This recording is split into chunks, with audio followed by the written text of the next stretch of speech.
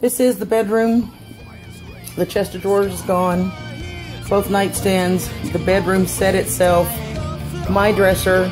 He left my expensive breathing machines and CPAPs that I need to breathe with just tossed on the floor. Clothes everywhere. We go back in here. He took the freezer and I'm okay, but he took all of my food that I bought that was in the freezer and he left me with no meat, none at all. I have to replace all of that. Do you believe in karma?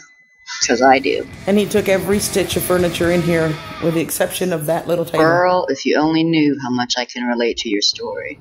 That's it. He took it all. You've done nothing but try to entertain us and make us laugh and serve good food and be fun in streams.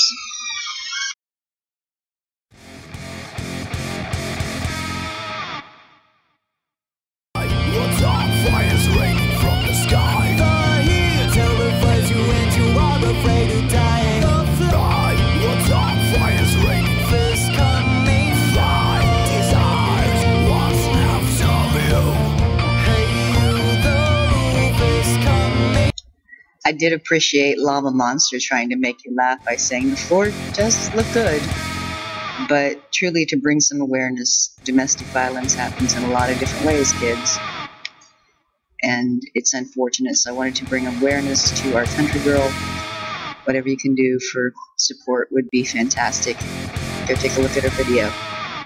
Thanks, guys.